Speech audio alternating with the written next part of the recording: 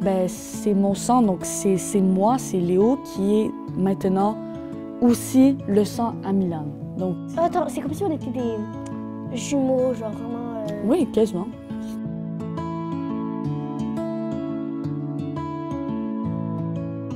Bah, en fait, j'ai dessiné le chemin parce que quand on a une, une maladie, c'est comme si on gravissait une montagne parce que à chaque palier, c'est comme si euh, c'était une étape de ma vie que je franchis. Puis moi, je suis juste ici.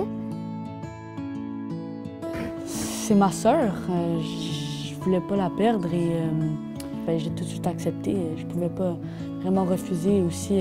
Puis là, on m'a mis. euh, Il a commencé à avoir des psychologues qui sont venus me voir, me demander est-ce que tu es vraiment sûr. Puis si je pouvais remonter dans le temps, j'aurais dit oui encore. là.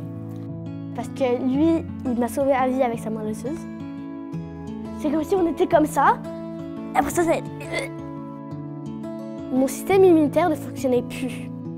En fait, on a dû rechercher une personne qui était compatible.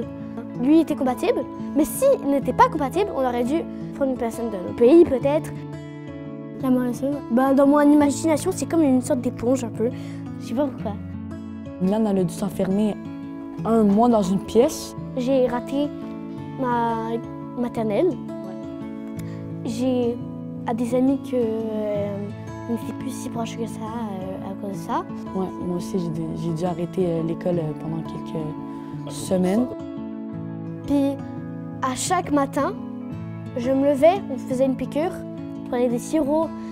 Il était supposé goûter euh, le sirop d'érable, il goûtait le, le métal. On faisait une marche, puis j'étais épuisée, je pouvais rien faire. Je dormais presque toute la journée.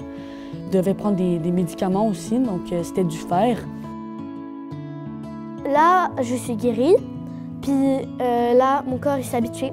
Je commence à avoir euh, un peu de, de mon, mon ancien sang qui euh, commence à Ah régénérer. Oui.